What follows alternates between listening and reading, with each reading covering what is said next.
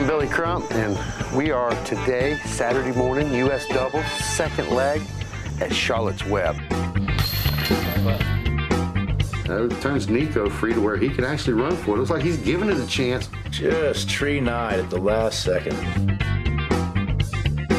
This is every bit of 40 feet uphill. That looks good. And if he can putt like that in the woods, he's going to keep that smile on all day long, champ. This format, it allows Will to probably go with this a little harder than he would in a normal singles round. He's especially committed to, to disc golf. He throws about as hard as anybody I've ever seen throw.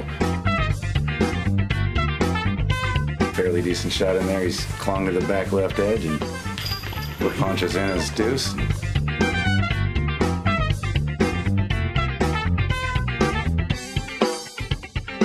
He told me last week he was coming, he was going to hit the basket or throw it in on this hole, and I just sort of giggled. Everybody always says that.